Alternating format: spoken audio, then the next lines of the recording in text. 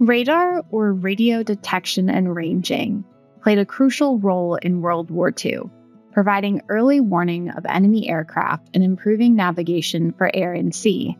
Since the end of the war, radar technology transitioned from primarily military applications to various civilian uses, including air traffic control, marine navigation, meteorology, law enforcement, and astronomy. Today, radar technology is still used by astronomers and advanced by engineers to further the discovery of our universe. The Next Generation Radar team, including members of the U.S. National Science Foundation's National Radio Astronomy Observatory, NSF's Green Bank Observatory, and Raytheon Technologies, is working to develop a high powered radar transmitter for the Green Bank Telescope, opening new avenues for research in planetary science and space situational awareness. How do radio astronomers capture cosmic data using radar? What kinds of information can data tell scientists? And how is the NG radar system different than other radar technologies? Stay tuned to find out on this episode of Beyond the Breakthrough, where we break down the latest developments in science and technology with help from the experts behind them. I'm your host, Kelsey Underwood. Before we begin, please note the Green Bank Observatory and the National Radio Astronomy Observatory are facilities of the U.S. National Science Foundation, operated under cooperative agreement with Associated Universities Incorporated. The opinions expressed in this podcast do not necessarily represent those of the NSF, and the implementation of any radar system on these facilities would be subject to NSF review and approval. Now let's meet our radar expert. With radio astronomy, uh, you have no control of what's coming to you. But in radar, we actually control that. We know exactly what we send out into space. So when we get that echo back, if it's any different than what we sent out into space, that's telling us something about the object it bounced off of. And that's what makes radar really powerful for science. That's Patrick Taylor, the radar division head and director of the Next Generation Radar Project, or NG Radar. Patrick has been working on the NG Radar project at the National Radio Astronomy Observatory, or NRAO, for the past two and a half years Prior to his time at the NRAO, Patrick worked at the Arecibo Observatory in Puerto Rico for nearly a decade, working his way up from postdoctoral researcher to head of planetary radar. He's contributed to over 70 research articles, mainly on radar observations of asteroids, comets, planets, and moons in our solar system. He also published the first observational evidence that asteroids can be spun up like a pinwheel by sunlight, known as the Yorp effect and even has an asteroid named after him 9286 Patrick Taylor. The Green Bank Telescope, which holds the title of the largest steerable radio telescope in the world, has been a radar receiver for over 20 years and will become a transmitter during the NG Radar project. The telescope is located at the Green Bank Observatory in Green Bank, West Virginia. While radio telescopes like the Green Bank Telescope or the GBT and radar systems both involve capturing radio waves. The processes are a bit different. Usually, with radio astronomy, you are collecting light or radio waves, in this case, from objects that are emitting those radio waves to you from very far away, very long ago, sending these signals back to, to Earth that we detect. Radar is different in the sense that uh, we make our own signal. So we transmit a signal from Earth, and bounce it off of the target we want to look at, which is sometimes the moon, sometimes it's asteroids, pretty much anything that's solid and close to us in the solar system. Uh, we can send out our own signal, bounce it off these solid objects, and then receive the signal with our telescopes on Earth again. And this can be really powerful because uh, with radio astronomy, uh, you have no control of what's coming to you. But in radar, we actually control that. We know exactly what we send out into space. So when we get that echo back, if it's any different than what we sent out into space, that's telling us something about the object it bounced off of.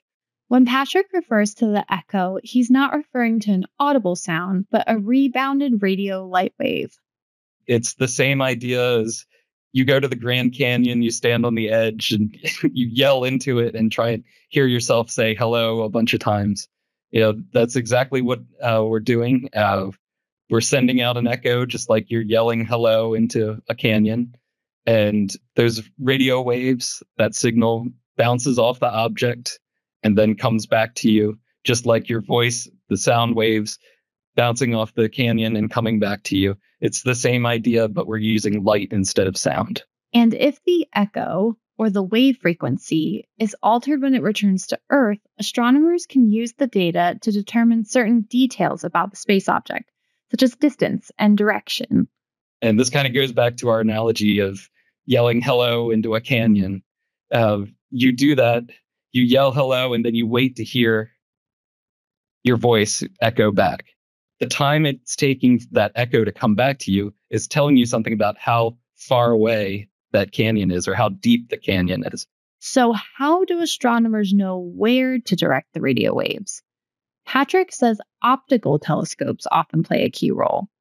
And the truth is, uh, I don't really discover new asteroids or things by pointing the radar out because I've got this very narrow beam we instead rely on these optical telescopes that have a big wide field of view and they can see a mm. lot of stars. They can see, they can look for things moving through their field of view. That's how they can discover things. Then they tell us, the radar folks, hey, there might be something interesting at this specific position. And then we'll use the radar to follow up on that. So a lot of times we say radar isn't necessarily for discovery in astronomical terms. It's more of a follow up technique that we can use to once we know about a target, we can use the radar to characterize it better. To illustrate the field of view for optical and radar, Patrick makes a comparison using objects that most of us interact with every day. An optical telescope, what it sees is kind of like the monitor of your laptop or the monitor of your desktop computer. It's covering many squared degrees. If you use the same uh, comparison of an optical telescope can see something like your laptop's monitor.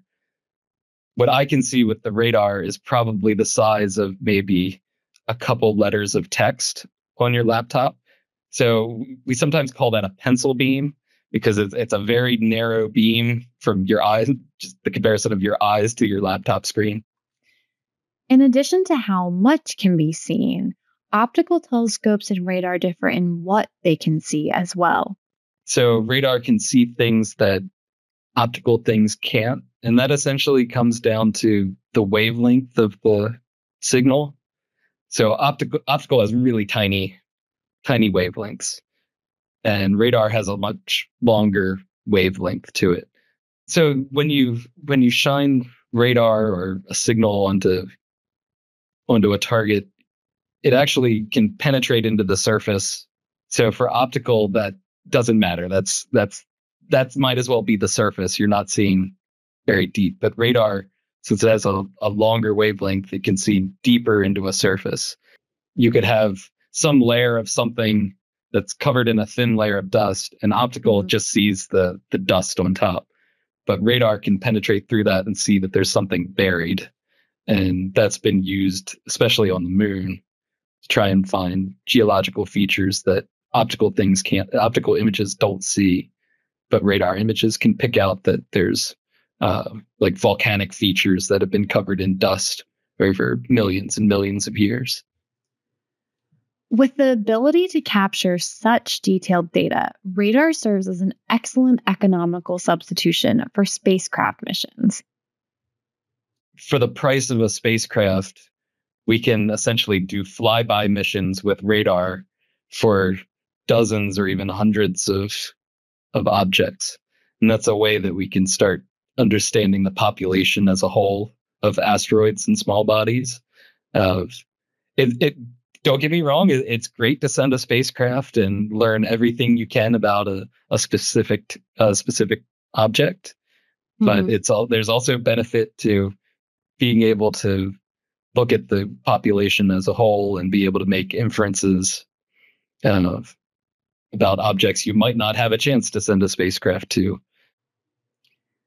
Not only is radar an extremely powerful tool in the field of planetary science, but it's also a highly effective device for planetary defense due to its high precision in determining how space objects, such as asteroids, are moving. If you can figure that out for an asteroid, then you can determine what its orbit is around the sun. And if you can do that with uh, very accurately, that means you can start to predict where it's going to be in the future. And if you can do that accurately, you will have a better idea what its chance is of potentially hitting Earth. And that's something we're concerned with. We we don't want it want it to happen, but it's happened before. It will definitely happen again. But we now have the means to try and predict when those sorts of disasters might happen. And just how precise are we talking? We can measure how fast an asteroid is moving to often centimeters per second or even millimeters per second. And so this is really good for uh, observing an asteroid and being able to reduce the uncertainty of its orbit. And the Green Bank telescope's prototype radar system doesn't stop impressing there.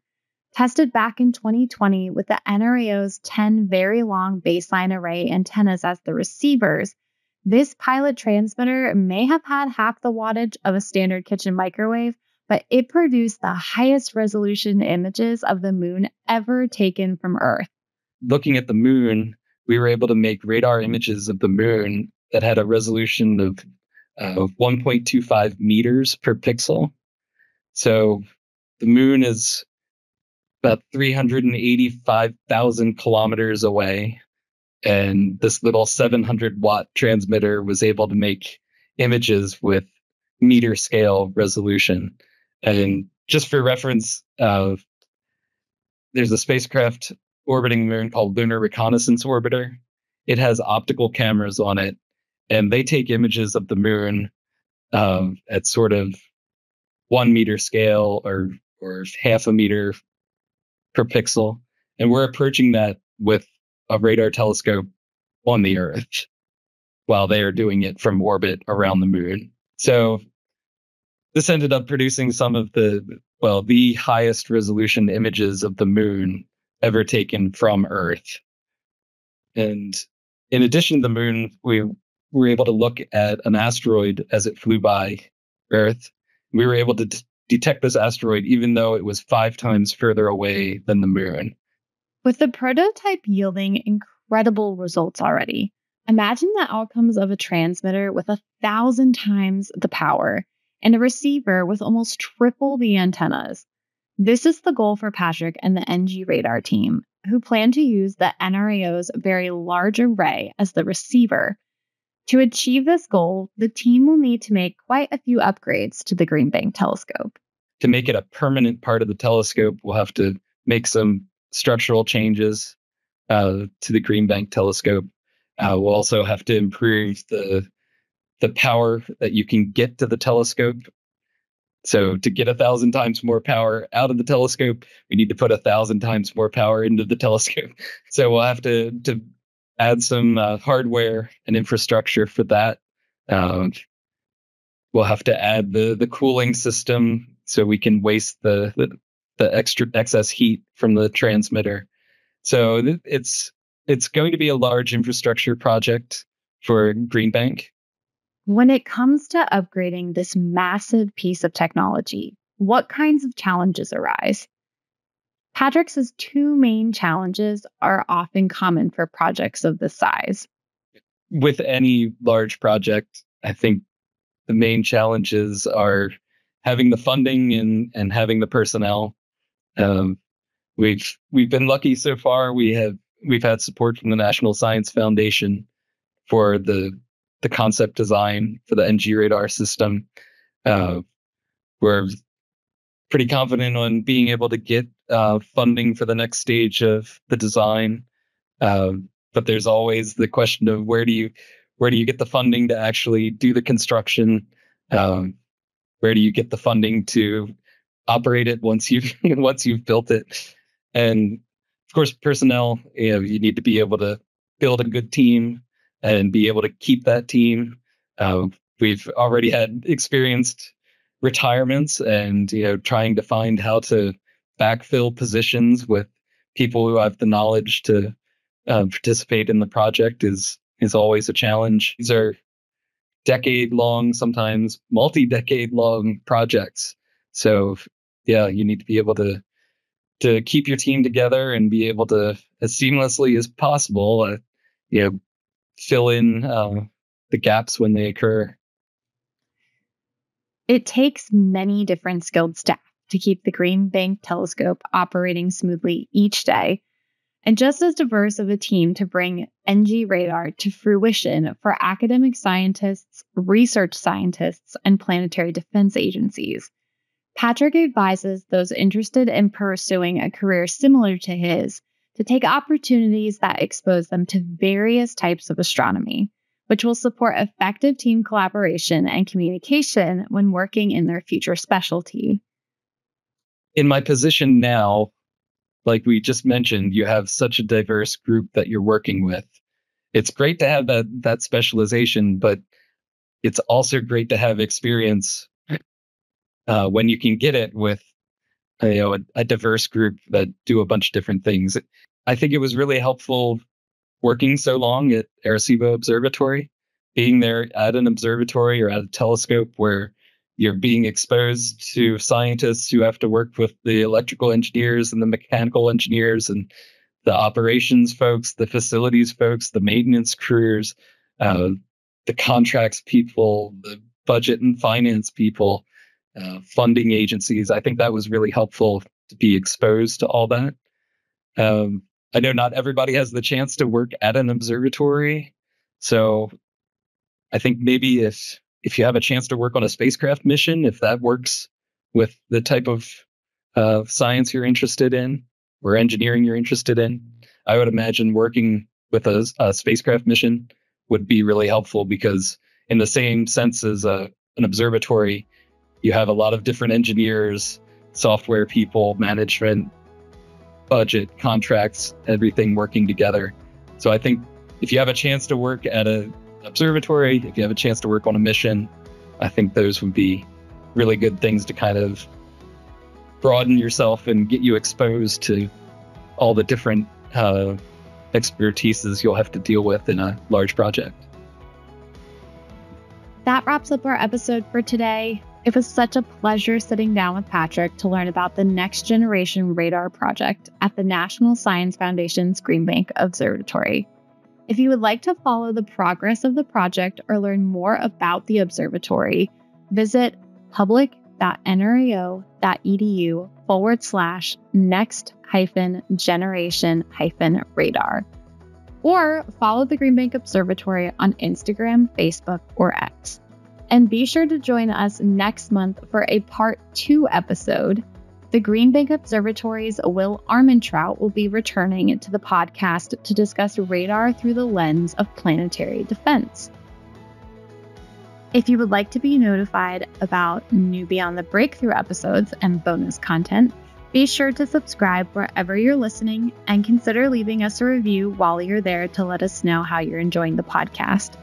Also, you can follow AUI on Instagram at Discover AUI and Associated Universities Inc. on Facebook and LinkedIn to stay updated on all the latest breakthroughs at AUI. Thanks for listening, and I'll see you next time.